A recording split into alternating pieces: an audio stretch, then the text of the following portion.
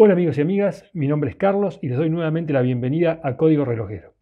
Durante las semanas muchos de ustedes me pidieron a través de mi página de Instagram y también acá que reseñara un Seiko 5. Así que hoy les traigo el Seiko referencia SNZF17K1, bautizado por los coleccionistas como Sea Urchin o Erizo de Mar, que es a mi juicio un modelo que va en camino de convertirse en un verdadero ícono de la marca japonesa y que también es el de mayor calidad de la línea Seiko 5 Sport por lo menos de los que han pasado por mis manos hasta el momento. También a su vez es uno de los Seiko más modificados por los coleccionistas de todo el mundo. Así que sin más, los invito a ver la intro y enseguida comenzamos.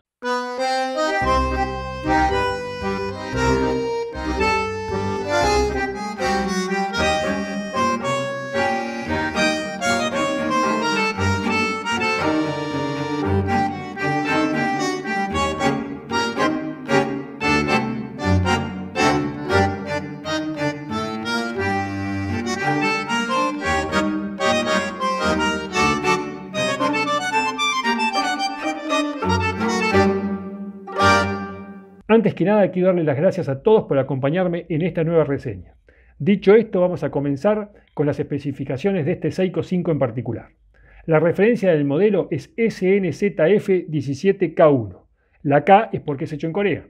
Su movimiento es 7S36, de manufactura propia, es automático de 23 joyas, con aproximadamente 40 horas de reserva de marcha y no cuenta con remonte manual ni parada de segundero.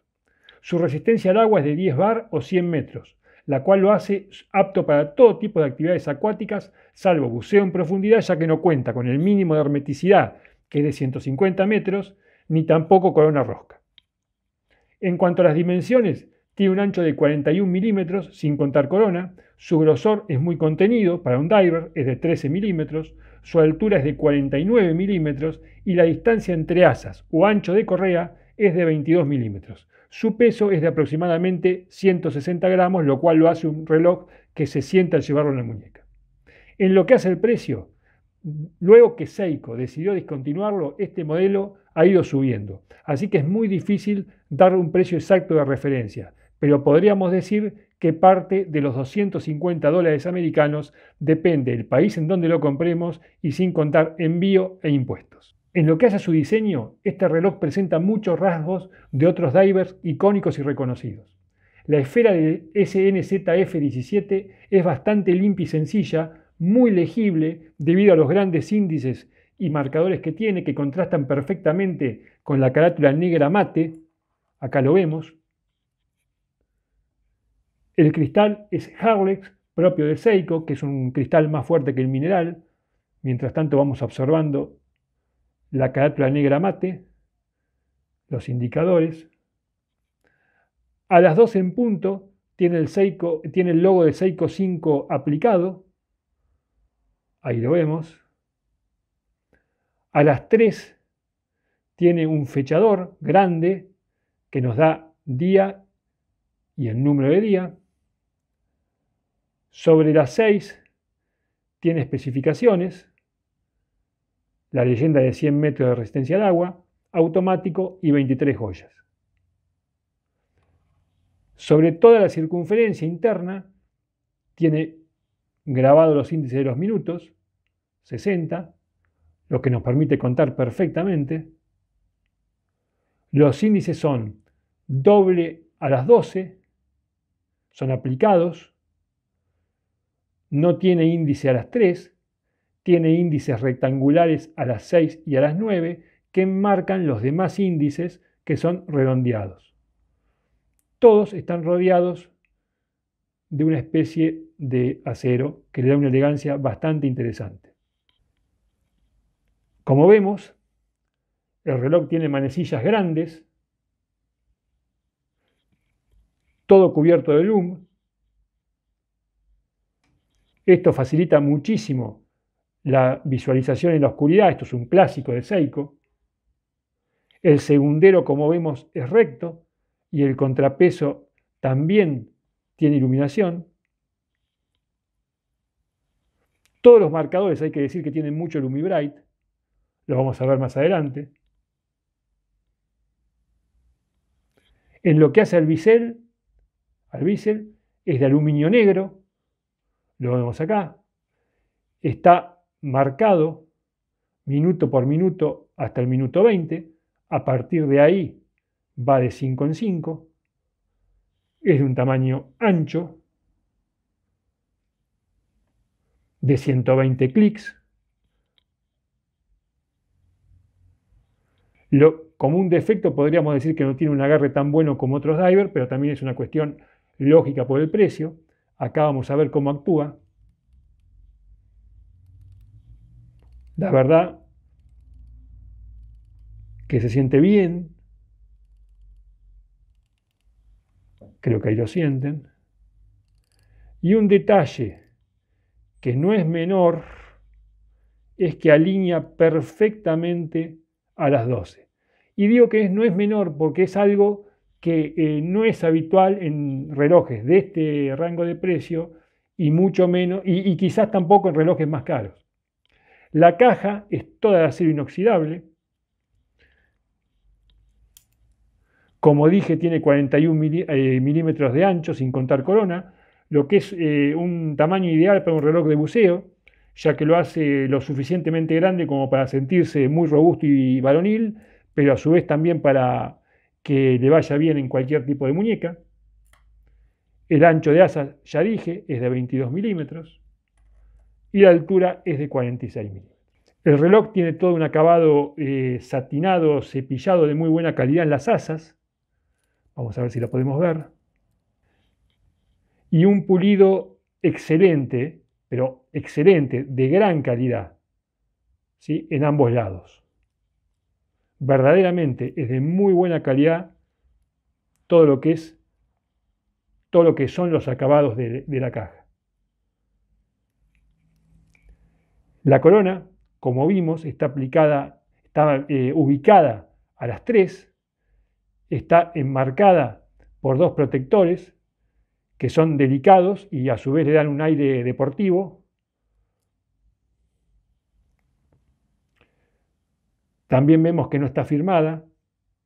Esto es algo que es habitual y yo diría lamentablemente, porque la verdad que me gustaría muchísimo que estuviera firmada, pero bueno, los Seiko 5 en general vienen todos con la corona así, limpia. No es enroscable, ¿sí? Por el lado posterior vemos el movimiento no tiene grandes florituras, grandes detalles. Es un movimiento que está hecho para un reloj herramienta, podríamos decir.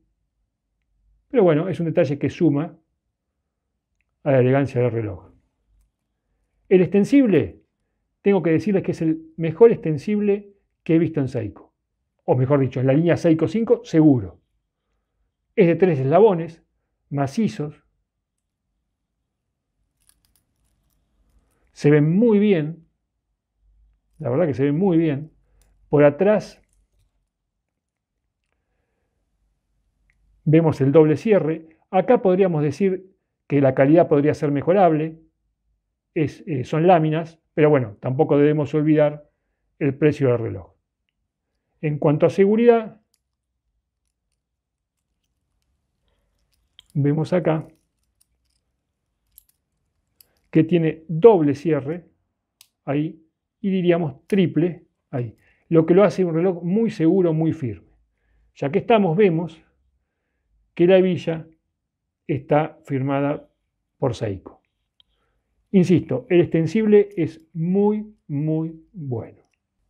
Siguiendo, tendríamos que ver las funciones, vamos a poner el índice justo en el, junto a las 12. Ahí vemos que alinea perfectamente.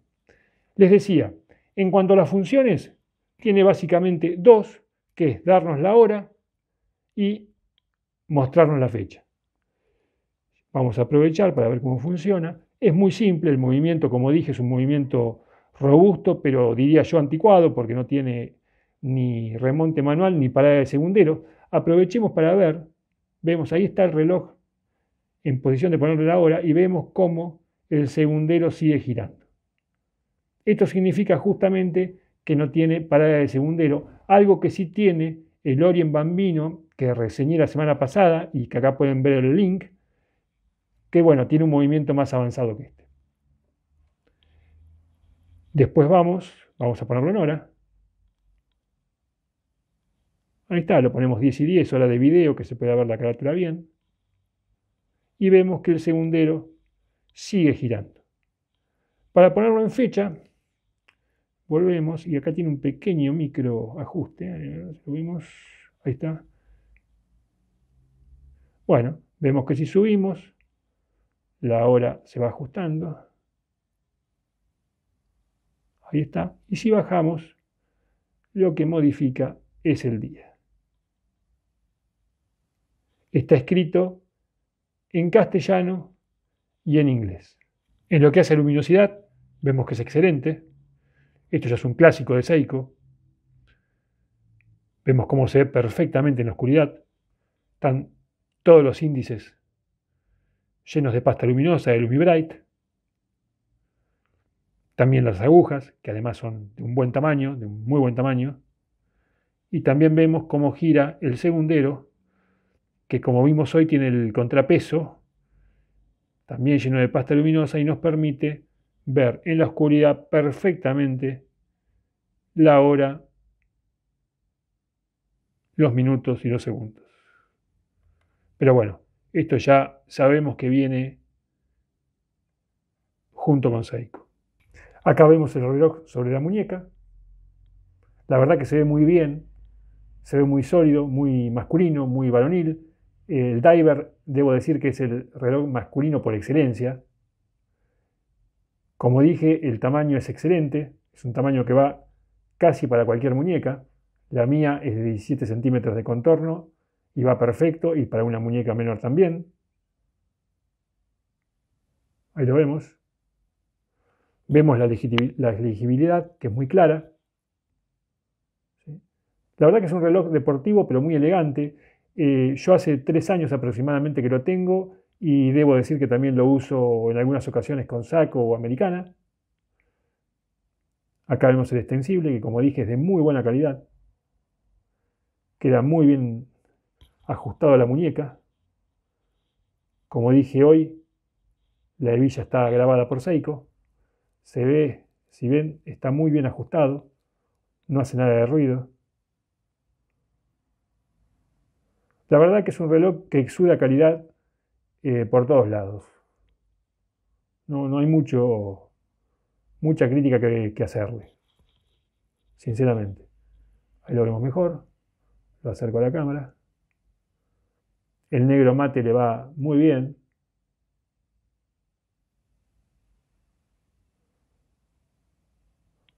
Así que amigos, insisto, queda excelente.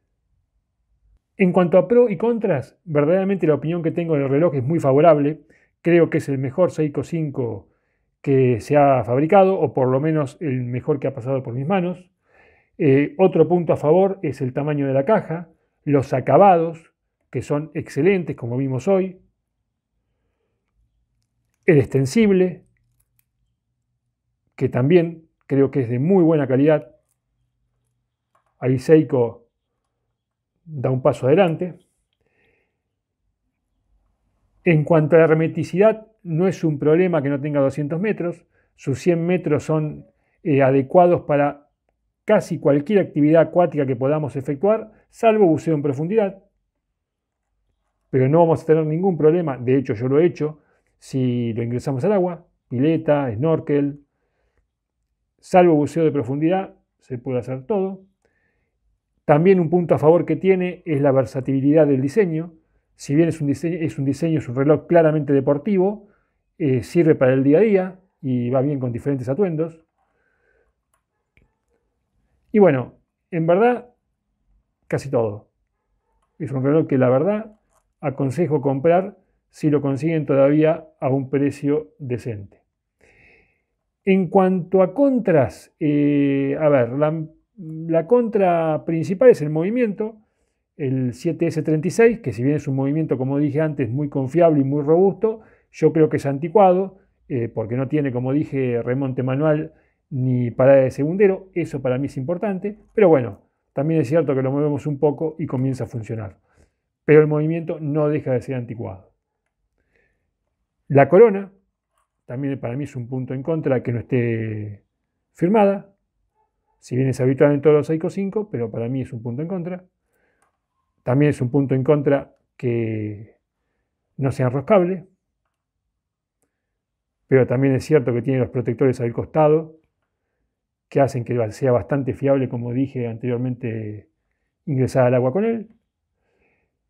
Y eh, la principal contra que está empezando a tener el modelo este de, Seiko es el precio, porque como dije, eh, se discontinuó y ha tomado además gran prestigio entre los coleccionistas. Eh, insisto, yo creo que se va a convertir en un icono de la marca, ya es bastante difícil de conseguir. Así que bueno, hoy el, inconveniente quizás mayor es el precio. No lo he visto por menos de 250 dólares americanos. Pero después es un reloj que aconsejo comprar si lo consiguen. Al margen de este reloj, algo que me, gustaría informar, hay varias versiones más que las estamos viendo acá.